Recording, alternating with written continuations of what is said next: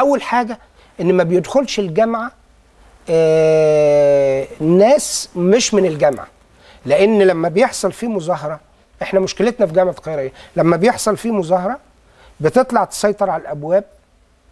بعد كده بيروحوا يجي, يجي ناس من الشارع من اللي هم بقى ألتراس أحرار وما شابه ذلك يخشوا في وسطهم.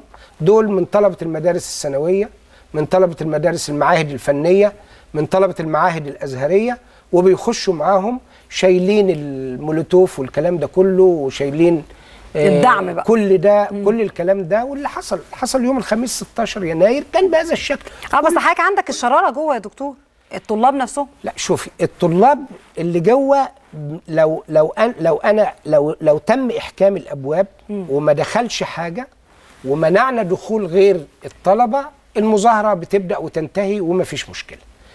آه ومن السهولة السيطرة عليه، إنما الإشكالية الكبيرة في دخول ال ال ال هؤلاء الطلاب المأجورين في الحقيقة اللي بيبقوا جايين متأجرين اللي بيبقى كذا. وإحنا في يوم 16 ده مسكنا أحد الطلاب من المعاهد ال- الفنية آه، معاه أجندة بتكليفات بالمبالغ الموزعة والأجندة دي طب المظاهرات اللي. شهدتها الجامعة بتاعت حضرتك آه، قبل هذا آه، التاريخ كانت كلها مظاهرات سلمية آه، لا ما- شوفي- ما عشان كده بقول الشرارة في جوه. عندي آه، لا ما عندي ما هو نفس الكلام آه. ما هو نفس الكلام برضو كان كل مرة بيدخل إحنا كان عندنا أربع وقائع حصل فيها آه، حصل فيها عنف أربع وقائع آه، آه، وتم التعامل معها طب بص يا يعني دكتور أنا هقول لحضرتك حاجة بصراحة. يعني أنا لما كنت بتابع تصريحات حضرتك كنت شايف إن حضرتك ليك وجهة نظر إن التعامل الأمني ما فهمته أنا